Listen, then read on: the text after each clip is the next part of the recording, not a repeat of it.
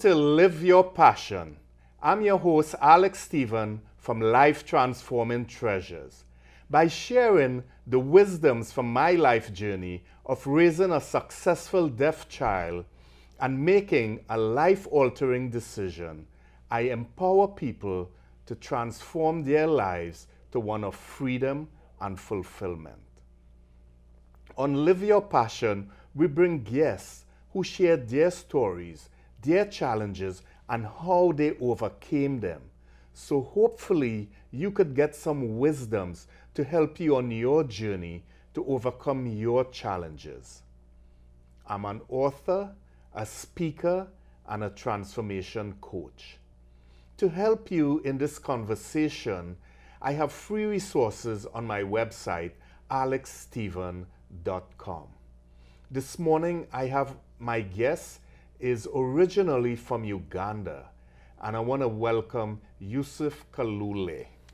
Hi, Yusuf. Welcome Hi. to the show. Thank you so much, Steve. Yeah, and you could introduce yourself. Oh, yes, sure. Mm-hmm. I'm happy to be here on this Live Your Passion show Yeah. with you, and I must say, doing a great job. My name is Yusuf Kalule. I come from Uganda. I've grown up in Uganda. Uganda is in the eastern eastern part of Africa. Right. Yes, that's where I come from. I'm here in the U.S. with my family, my wife, and my daughter. Yeah. Yeah. Okay. And thanks a lot for coming on the show. Oh, really sure. appreciate it. Welcome. And I know you have a very unique story. Yeah.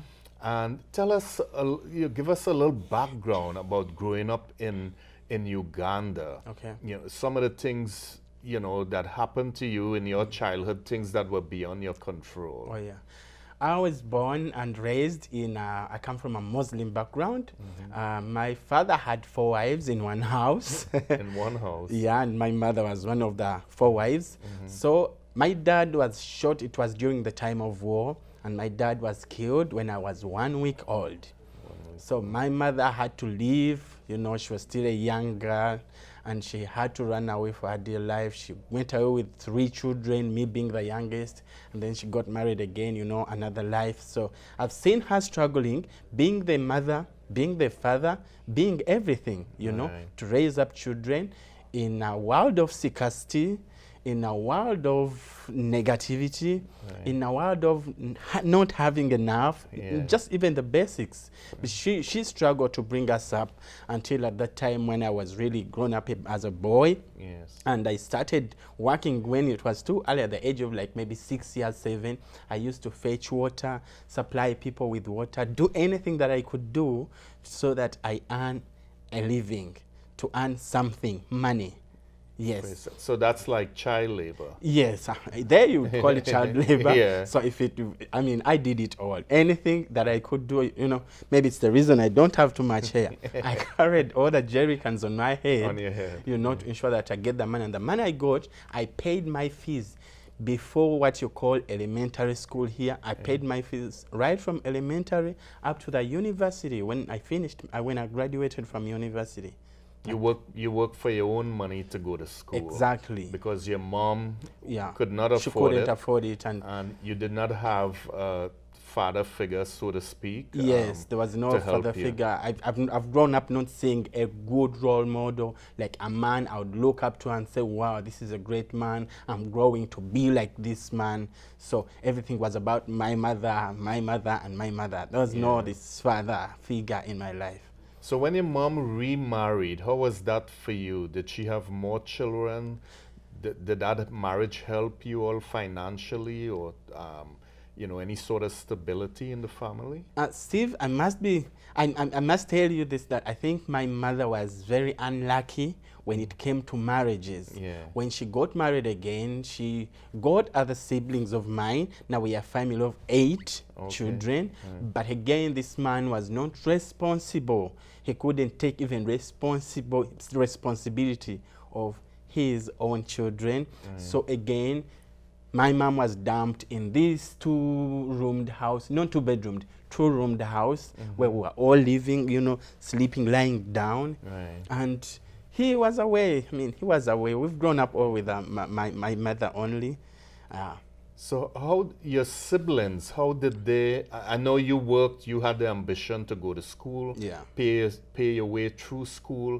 How did your siblings handle this situation? Yeah, the situation was uh, those days, people used not to pay a lot of attention taking girls to school and you know helping i mean education was for only those who can't afford and if you can't afford no one blames you because Yeah. you can't afford after all it's a big number who cannot afford Yeah. so i couldn't fetch water to pay my brother's fees my sister's fees Right. but i could pay mine mm-hmm. so i paid for mine and in my family, I must tell you, it's only me who got the first bachelor's degree. The mm-hmm. rest did not. Yeah, Did- because what, what level of school they finished? uh, some of them finished elementary level, others didn't make it up to high school. Those who have made it up to high school is when I had grown up and I, I took responsibility. Yeah, those are the ones who are actually they are still in school. Yeah, but my elder sisters they all dropped out real quick. Bef- uh, yes, elementary level. Yeah. So the girls, there's no attention to the girls' education. Yeah, right country. now though it's really coming up, but those days, you know, it's, I mean, there was no reason to keep girls in school. Even now, when you go to the rural areas, the village is far away. Still, you find boys going to school and girls not going to school because th- they don't see any value. Although the government is trying and everyone is trying, you know, that we have several organizations funded by the U.S. to help the girls go to school. Yeah, but still, you know, uh, those days over was it was not really a big deal to have a, a girl drop out of school. So the culture you grew up in in Uganda Yeah. is, you know, there's no attention to the woman, respect for women. It sounds like. No, there was nothing like empowering women. Right. No, educating women. No, women were supposed to look after the men. So Okay, just make children look after the home. yeah, And nothing like education and career. yeah. Actually, they used. They, I remember. I don't know whether it was a joke. Actually, it was true. But they used to say that a woman's office is the kitchen. Yeah. So they stand the kitchen to Yeah. cook for us food, the men, while they mm. do progressive things and all that. Mm. They are in their office back in the kitchen. in the kitchen. Yes. Yeah. Yeah. so, I mean, growing up, it, it was tough for you in the environment. Yeah. You know, your mom, you never had enough. You had to make whatever you had to do. Mm-hmm. But you had this ambition to go to school. Yeah. And tell us a little bit about some of the difficulties in working and trying to put yourself through school. Share with the audience Yeah. s- some of the difficulties Yeah. you went through. Some of the difficulties I went through at that time when I was going to school, I suffered from harsh words. Steve, I used to hear all the negative comments, Yeah. all the negative words, unfortunately, straight from my own. Yeah. Your own relatives. Yes. They're the ones who could assure you 100% you won't make it. You're not going anywhere. You can't make it. You're such a failure. Those were the words that could define me. Right. Okay? And at that time, because everything was scarce, I lacked even the basic resources. There was this urge in me, there was this good in me, but I was so limited by the resources. I'll give you an example libraries in schools. The schools that have very good libraries and they're well equipped, I couldn't afford them because tuition or fees in those schools is real high. So I couldn't go to such Right. schools. I went to very, very local schools where if the whole school has no library. Right. So our, my reading was limited to that. And then going back home, you know the environment, you have to go to school from 8 up to 5. Mm-hmm. And then when you go home, you have to do some domestic work. But again, you have to supply your clients, the, my water clients. I used to supply water. So I would go to house or home, like now I'm resting, at around 10 p.m. after fetching water. If I didn't supply all my clients with water that evening, at 5, I'm awake, Mm-hmm. going to fetch water from the pond, mm-hmm. supply my clients. By the time you go to school, you're tired. Yeah. you don't have time for you know discussions. You don't have time to revise your books. You don't have yeah there was a lot of scarcity. So mm-hmm. that's the environment we grew in. And then our there were the the people were staying with they were so inferior. Everything you look at was so dark You know, there's nothing that was showing you a brighter future. Everything I would look at was so dark and limited. You're not going anywhere. Yeah. Okay? Your sisters are not going to school. None of your uncles went to school. The, the, aunties didn't go to school. So who are you to make history? Where are you getting it from Where that you you get gra- you get bachelor's degrees here? Yeah. It's not in the family. So people laugh at you, they Yeah. talk down to you. Yeah. But you had that ambition yes. to, to do to do better Yes. and, and go higher in Sure, life. sure. So t- tell us a little bit how, you know, some of the things that propel you from where you, you know, from this place of darkness, so Mm. to speak, to um to to getting, you know, getting out of that. Could Mm-hmm. you share with us some of the things? Exactly.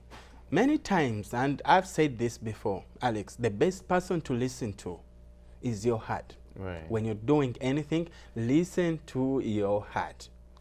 I had this urge in me, I had this voice in me that Yusuf, you can change history. Right. You can change history. Now, your history can be good, yeah. but you can change it to better. right. Okay? I had it in my head. If I'm going to do extraordinary things that no one has done, Right. people not having gone to school does not mean that we must not go to school. So I had that voice in me of changing history. Okay. And when I had it, it pushed me, it persuaded me to do whatever I was doing. Mm-hmm. Not copying it from anyone, but because I had a self drive in me. That inner you, the inner Alex, mm-hmm. is, is, the, is the one to follow. Okay? Right. It keeps you going, it keeps you pushing. No one will understand why you do the things you do, but you know You know why. what you're doing Yeah, and why you're doing here. it. Because it's from your heart and it's you. Yeah. Yes. Yeah. So that pushed me, amidst all the shortcomings, amidst all the limitations, I pushed and I strived through. Mm. You know, I went to school, I graduated. Oh my goodness, it was big. Unfortunately, by the time I graduated, my mom had gone to be with the Lord, so she, she couldn't share the celebration. But I was so happy that I was able to graduate. And when I graduated, I got a job in Uganda. I had a job with a corporate firm, mm-hmm. and I was doing pretty well. I, and I had my, I, I got established. I got a family. I married my wife. I got a child. So I was really established. But it all started with So all started. Yeah, I know you said you heard that voice in you. Yes. And share with, share with the audience. Mm. You know, they, they heard your story. The the hard upbringing you came up in in your culture in Uganda. Yeah. But share with them some more points on how you came out of that. I know the voice was one. Yeah. Wh- What sort of people you surround yourself with? What, you know, what were you looking at? What really motivated you? Yeah. Another key thing after listening to my heart, one of the things I re- that were really so important to me at that time that helped me push through was I've identified role models in my life. I identified people who seem to be living the kind of life that I admire. Right. And in that way, you know, they couldn't come to me, but I had to go, to, to them. them, yeah. So I looked for them. They are those I approached and say, I admire the kind of life you live. You have a good job. You're well established, okay? You're a respected man in the mm, community. Mm. What made you? I made such people my friends. Ladies and gentlemen, every time you surround yourself with the positive people, you have no choice but to, to succeed. Yes. When you surround yourself with people who are negative, negativity becomes your name. Right. Okay, so it's very, very important, and this it's your choice, the kind of Yeah. people that you're going to surround yourself with. Right. Sometimes when we are in hardships, we ident- we get to put ourselves in a circle. Well, these are the people who understand me. We suffer the same way, you know. So because we go through the same challenges, so we understand each other. But no one is helping each other to get out of it. Mm, right. So before you know, you get used to the situation. Back home in Uganda, people say poverty, ah, it's part of us, it's part of life. Because I'm poor, he's poor, he's poor, he's poor. So poverty is our definition, becomes our name. So you break it. Okay? Surround yourself with people who add value to you. And I looked for those people and I found those people in a church. I went to the church where I met. It was in that church when I first met someone who told me, Yusuf, you're going to be the head and not the tail. You, you That's have powerful words. Yes, Yeah. you're going to be the head and not the tail. Yusuf, you're going to go where people have not gone. Yeah. You're going to be an example in your family. God has a purpose for your life. Mm. Goodness. I can never forget those Yeah. words. And I said, Really? You don't know me. Why are you saying such words? I do not know what he say, he saw in me, but he said those words. I said, okay, let me find out if this man is true or not. And here I am. He was so right.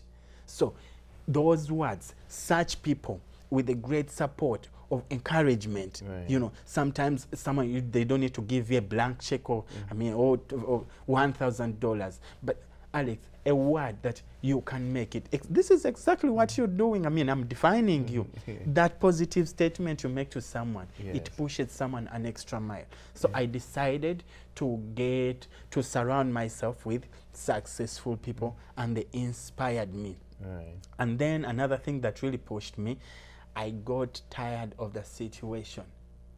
People, when you get tired of your situation, you will get out of it. Yeah. If I if I don't find my life, my, my situation as a problem, and you find it as a problem, you will struggle to help me, and I might not respond positively to the help because it's not I don't, it's not a problem to me. You think it's a problem, but it's not a problem to me. Mm. When you speak to yourself, I said, I'm tired of this. Enough is enough. Now, the moment you say enough is enough, you're making your first step to mm. get out of it. You make a commitment. Huh. Yeah. Now, when you make a commitment mm-hmm. and you have the self drive because you are fed up of that situation Yeah. and now you're determined and you're committed to changing it, Yeah. to moving mm. towards the kind of life you want to live. Yes. So that really helped me and it pushed me, you know, it kept me going. Yeah. But then another key thing that really helped me is um, breaking my circles. You know, sometimes we limit ourselves. We, I, I- mean, a, a- show like this, okay? It takes courage for someone to tune on this TV and watch. Yeah. Live your passion. Now, start looking for great resources that will help you. Oh my goodness. You have free resources on the website. Mm-hmm. That's gold, free mm-hmm. of charge. Yeah. Gold, free of charge. Yeah. So, start reading things that will inspire you. Watch movies that inspire you. Mm-hmm. Read books that inspire you. Right. Okay? Now, because now everything around you inspires you, left, right, center, I mean, forget about failure. Yeah. You will make it. And that kept me going. It kept me going. I met good people. My social life, I really had to do much about my social life. The way I talk to people, the way I present myself to the people. Because I was a young man and I'm admiring these big people. They are CEOs, they are managers in places. So I couldn't go to their offices dressed a certain way or present myself in a certain way. I had to start portraying my, say, start seeing myself in that image as if I'm also now corporate, Yeah. as if I'm also now a CEO. Yeah. And you know, they went on uh, introducing me to their friends and what. So before you know, I had a circle of friends, grown up, respected men around me in church, in all my social life communities, the people I used to hang out with, they all used to inspire me. But you made that choice. The choice was mine that Yeah. I'm choosing to change history. The Right. choice was mine that I choose to get tired of my situation. Situation. Boom. Yeah. I had to move. And so that is how you got out of it. Yes. And I mean, th- this is such an inspiring story Mm-hmm. on how you got out of it. Yeah. You know, because you look at people, successful people, Yeah. and you approach them Yeah. because you wanted to get off. You were tired of Yeah. your situation. Yeah. You join a church, and people were speaking positiveness into you Yeah. and power into you, something that you never had in your entire li- childhood growing up. No father figure, no uncles who were speaking those words into you. Yeah. And you made the choice to have successful people and positive people Mm-hmm. in your circle. Yes. So this this is what will help the audience Mm-hmm. in live your passion. Okay. And and your story, Yusuf, reminds me so much of my story. I came from humble beginnings. Yeah. I remember we didn't have any running water, no electricity, grew up on a dirt floor. Mm-hmm. But I had it in my heart at 10 years old that I was going to go to university. Wow. And I came to the United States to go to university. Yeah. I had it at 10 years in my heart, the woman I was going to marry. Oh, wow. I didn't know how she was going to look, but I knew how she was going to think. Okay. And I met my wife eight years after in high school, and we've been together for 41 years. Wow. So I, I know what you're talking about when you have it in your heart. Mm-hmm. And people, you have to make the choice to surround yourself with positive people. You have to go out there and look for mentors and have mastermind groups. Yeah. That I used to do those things. I didn't know those words then. Mm. But I used to go and ask people questions and be on top of what I'm looking for. Ask questions. Mm. Yeah. Should I go to this university? Should I go to the oil field and do apprenticeship? And the, the choice was mine. Yeah. So I hear what you're saying. Yeah. So now, tell us a little bit about you know you came through you know these hard times. You told us how, but where where it put you in terms of your education and your life after that. After after when I had my job mm-hmm. and I was working, I got this chance to come to the US, mm-hmm. and I thought about it. I prayed about it, and I felt like I was making a right decision. Mm-hmm. Why? My country still there are less opportunities. Okay, and I know I do, I'm not the kind of person who settles for less. Yeah. So I said, okay, I'll expand my territory and let me look for wider opportunities. And I came to this country seven months ago with my wife and my child, and we are here. And guess what? This is a country full of opportunities. But again, it goes back to you. What do you see? Yeah. If you are negative, if you are kept, uh, you, uh, you surround yourself with negative people, even the opportunities around you, you won't be able to see them. Yes. You won't see the opportunities because negative defines you. Negativity goes ahead of you. Have you seen people like who tell you, like Alex, you're really smart in your suit? They only don't say you're smart. After saying you're smart, they say, but if your hair, the, the, the, the curves were this way, you know? No, first appreciate that the man is smart. Right. There are opportunities. Don't tell me about the hiccups. All I see are great opportunities. Yeah. If I have a positive attitude, if I have a positive mind, if I feel it in me that success is for me, I'll execute the opportunities and the Yusuf you're seeing now, count the years down the road, is not the same Yusuf you're going to see after a year or two or five.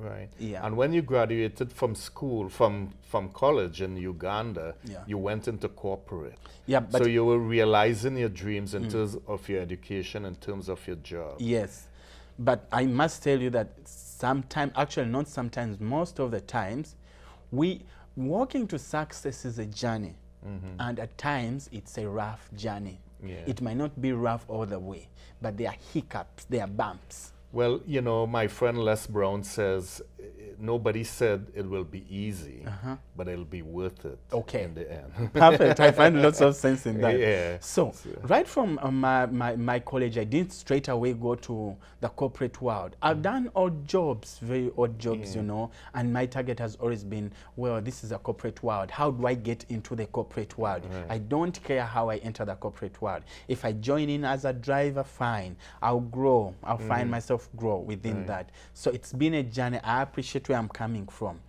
Did you notice that it sounds very good talking about our history mm-hmm. when we have overcome it? right. If you're still held by your history, you don't want to talk about it. Mm-hmm. So I've walked that journey. It's been a hiccup here and there, but it is worth it, like you've said. I appreciate. I look back and say, I can't believe I came this far. Oh my goodness, I'm so happy of where I am and looking forward to where I'm going. That's the art of the positive mind. And you, Yusuf, it's so, you know, you define your dream. Yeah. And you took action. Mm-hmm. And that's important.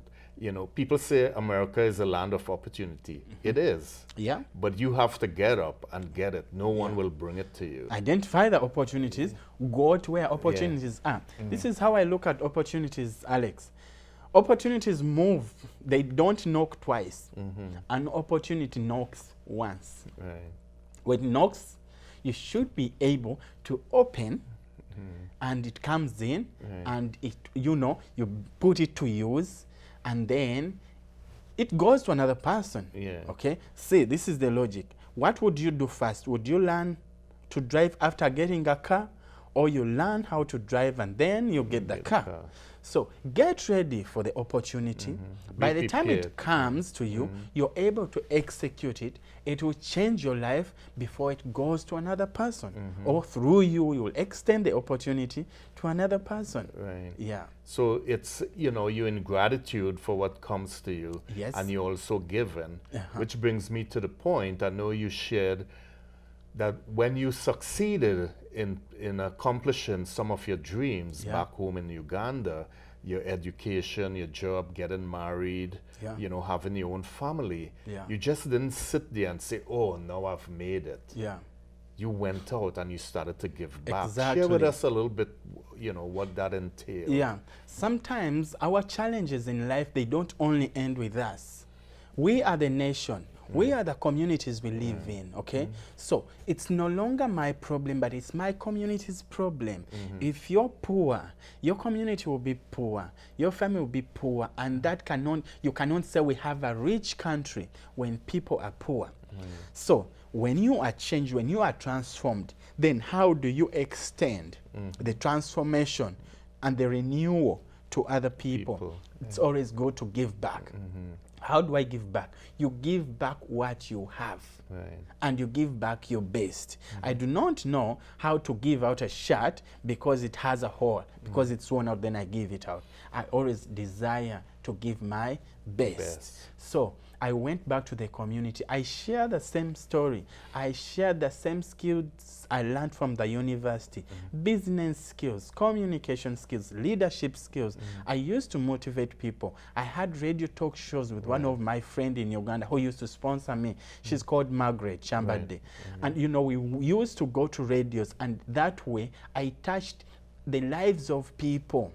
It is a seed I was sowing. Right. My point was to sow this seed. Right. I'm happy to some it might have germinated and they have a story to mm. tell about Yusuf. Right. Maybe to others, the seed went on a rock and it didn't germinate. But it's so, so important to share.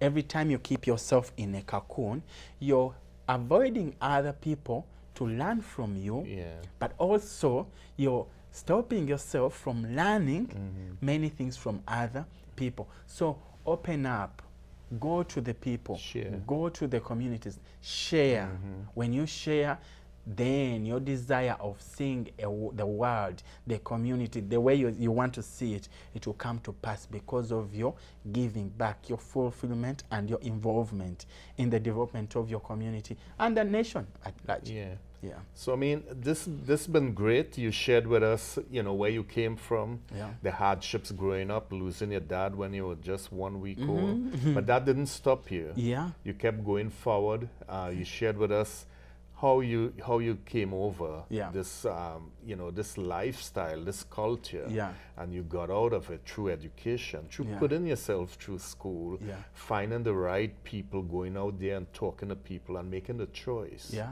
To have the right people in your circle. Yeah. And you you got a big break to come to the United States. Yeah, it was big. Oh my big, big- goodness. big break. But Yeah. that's what happened when you Yeah. take action. Yes. When you go out there, when you make a commitment, when you're in gratitude, that's that's what happens. Yeah. And this is what we want to share with the audience that you could do it to whatever challenges you're going through in life. Mm. You could learn something from Yusuf's journey. It may not be the same thing, but you could u- use some of the things how he got out of it Yeah. and use it in your situation to help you overcome your challenges. Yeah.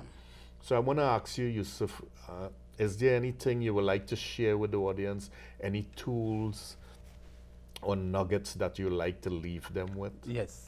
Exactly. Ladies and gentlemen, whoever is the, our, our dear viewers, there are key, key principles, key major things I want you always to remember. These things have worked for me, and I tell you what, this will always work. One of them, make a decision, choose to change, choose to transform, mm. make a choice, a deliberate choice. And I, your choice is always followed by actions, okay? Mm-hmm. Two, surround yourself with rightful thinking people rightful thinking people and every rightful resources put it to use. Mm-hmm. Three start now. Mm. Start to move. Start. I mean many times people have very big dreams but start okay?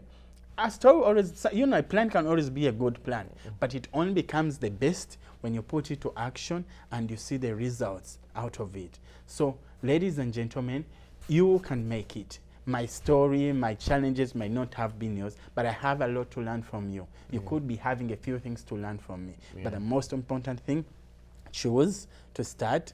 Break the limitations. Break the circles. Mm-hmm. Don't let not negativity whisper to you always. Choose purpose to be positive. Yeah.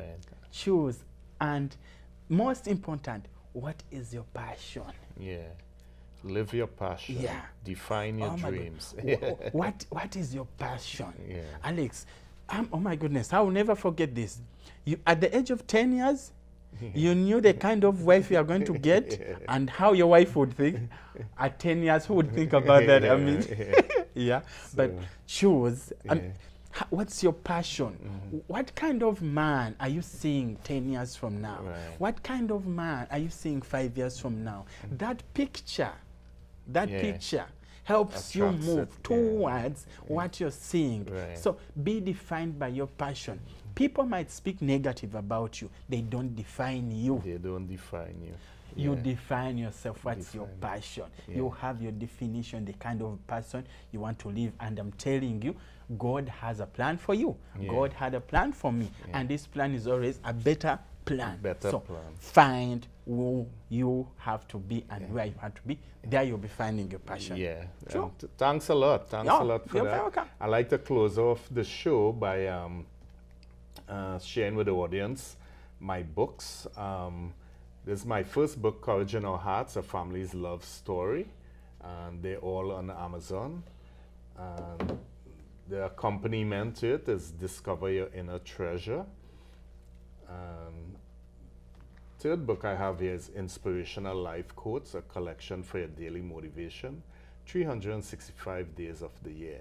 And what I like to do on the show is read the hmm. quote of the day. Hmm. And let's see what the quote is today. Um, it's right here. So the quote of the day is Life is like a game of cards. Mm-hmm. The hand you are dealt is determinism. The way you play it is free will. okay And that's from Nehru. And I think this is so relevant. Oh my goodness. Yeah. it's relevant for the day Relevant to your story, Yeah. defining your dreams, the hand you are dealt. Yeah. You had no control the cards were over here your life. Yeah. So, Wow, important. So, um, thanks a lot. Oh, welcome. thanks a lot for coming on the show, Yusuf. And appreciate you coming on the show and, and Thank sharing you your so much. story. Really Thank you so much. appreciate it. All right. Again, this is Alex Stephen on Live Your Passion. Thank you.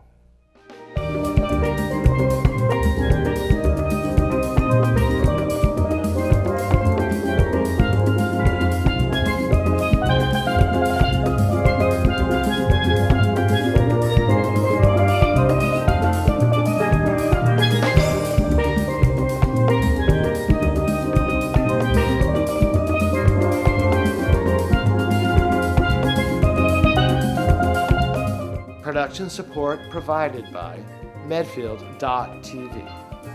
Access to our community.